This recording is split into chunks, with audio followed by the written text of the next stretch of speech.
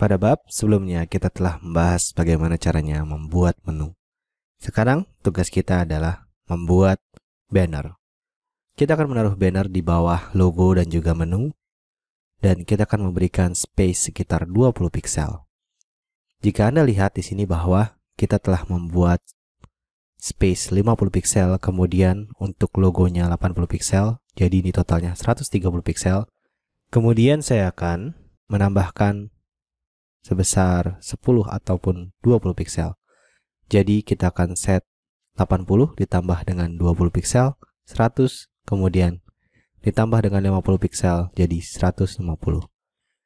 Ctrl Alt H untuk membuat guide. Ctrl Alt H, kemudian pada horizontal kita akan set 150 pixel. Kita klik OK. Maka akan muncul di bawah menu, dan juga di bawah dari logo. Kemudian, langkah selanjutnya saya akan memberikan sebuah gambar di sini. Untuk memberikan sebuah gambar, saya mempunyai sebuah situs di mana Anda bisa mendapatkan gambar secara gratis dan ini juga bisa digunakan untuk komersial. Oke, di sini situsnya adalah unsplash.com. Saya akan coba mengakses unsplash.com di mana gambar-gambar yang ada di sini merupakan gambar-gambar Full HD, sehingga nantinya ini bisa memudahkan kita dalam membuat website yang cukup cantik untuk Anda presentasikan ke klien Anda.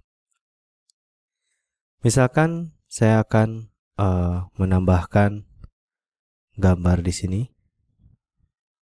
Saya mencari gambar yang sedikit lebih bagus misalkan gambar ini. Kita akan coba klik kanan lalu buka di tautan tab baru. Kita akan coba save, simpan gambar sebagai. Kemudian saya akan menaruhnya di pondok tutorial lalu Photoshop tutorial. Saya akan menaruhnya di banner. Kemudian sekarang tugas saya adalah menaruhnya di Photoshop. Klik file dan sebelumnya saya akan merapikan ini dulu. Untuk menunya saya akan jadikan satu grup. Tekan Ctrl G, kemudian kita set sebagai menu. Kemudian saya akan menggesernya sedikit supaya terlihat lebih rapi. Tahan Shift lalu geser. Seperti ini. Dan saya akan memberikan gambarnya di bawah logo dan juga menu. Kita akan coba File, pastikan di background, File, kemudian Place Embedded, lalu pilih banner. Kemudian saya akan menaruhnya di bawah sini. Saya ingin besarnya gambar ini adalah 400 pixel. Jadi di sini saya akan membuat 400 pixel dengan cara seperti ini. Kita akan membuat guide-nya tadi dari atas ke sini adalah 150 pixel, maka kita akan menambahkan 400 pixel. Jadi kita akan membuatnya 550 pixel. Kita akan coba Ctrl Alt H. Oke, saya akan coba place, lalu Ctrl Alt H. Saya akan membuat besarnya yaitu 550 pixel. 400 ditambah dengan 150 pixel. Maka gambarnya akan besarnya seperti ini. Jika mungkin Anda merasa kurang, maka kita akan menambahkan misalkan 500 pixel. Maka saya akan menambahkan 100 jadi 600 pixel. Ctrl Alt H, lalu 650 pixel. Maka kita akan set bahwa dari sini adalah 150 dan ini adalah 500. Lalu bagaimana dengan lebihan gambar yang ada di sini? Kita bisa menggunakan max. Caranya seperti ini. Mungkin selama ini Anda bingung ketika Anda mempunyai gambar lebihan seperti ini. Kita bisa menggunakan max. Saya akan membuat sebuah kotak di sini. Saya akan membuat sebuah kotak seperti ini. Kemudian saya akan tekan Alt. Saya akan buat seperti ini. Atau ini adalah salah posisinya. Kita akan letakkan banner di atas kotak tersebut. Lalu saya akan tekan Alt, kemudian saya akan klik di bawah rectangle ya. Maka gambar yang terlihat akan sesuai dengan apa yang kita inginkan. Saya akan ulangi, saya akan tekan Ctrl Z, saya akan tekan Alt, kemudian saya masukkan kursor saya ke banner, dan meletakkannya di atas rectangle 2 si banner ini. Kemudian saya tekan Alt, lalu saya klik ke rectangle. Maka hasilnya akan seperti ini. Untuk hasil yang lebih bagus, kita bisa memindahkan si banner ini. Bisa kita atur posisinya sesuai dengan apa yang kita mau. Seakan kita ingin terlihat seperti ini, maka kita tekan Enter. Kemudian, sekarang kita ke rectangle. Kita bisa perbesar ataupun perkecil rectangle ini karena ini adalah masking dan saya akan sesuaikan dengan ukuran yang telah ada. Dan sekarang kita akan coba lihat apakah banner kita sudah terlihat bagus. Tekan Ctrl 1 untuk melihat tampilan secara utuh seperti ini. Kemudian saya akan coba Ctrl Alt, saya akan coba perkecil seperti ini untuk melihat tampilan yang lebih bagus. Dan di sini, kemudian saya akan coba menghilangkan guide-nya dengan tekan Ctrl titik koma. Lalu, saya akan apply transformation dan saya akan hilangkan show transformation control.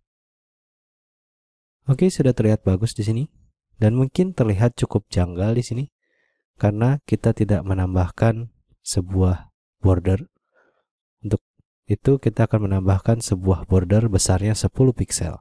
Saya akan membuat guide baru. Saya akan menampilkan guide seperti ini.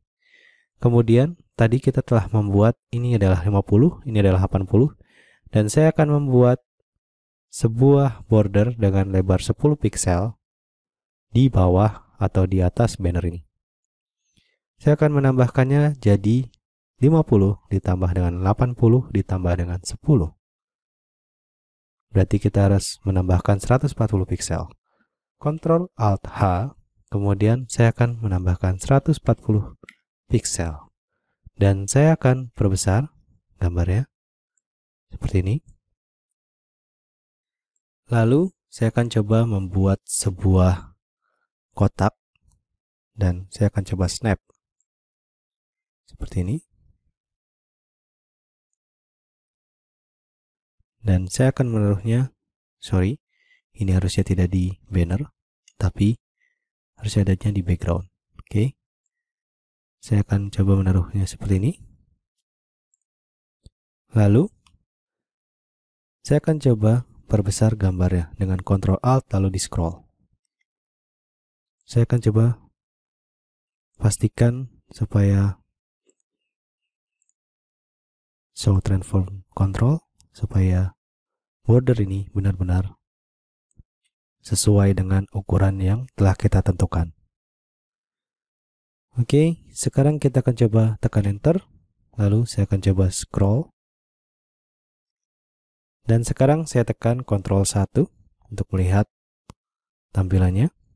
Dan saya akan coba menghilangkan guide-nya dengan Ctrl titik koma. Lalu saya akan coba Ancentang Show Transform Controls.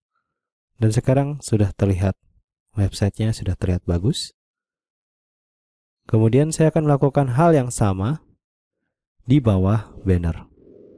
Oke, sekarang kita akan membuatnya. Saya akan tunjukkan lagi guide-nya, Ctrl titik koma. Kemudian saya akan Ctrl Alt untuk scrolling. Tadi kita menambahkan ini adalah 150 pixel Kemudian ini adalah 500 pixel. Jadi, jika kita tambahkan, maka menjadi 660 pixel karena kita akan menambahkan 10 pixel di bawah. Oke, kita akan tambahkan sekarang jadi 660 pixel. Tekan Ctrl Alt H.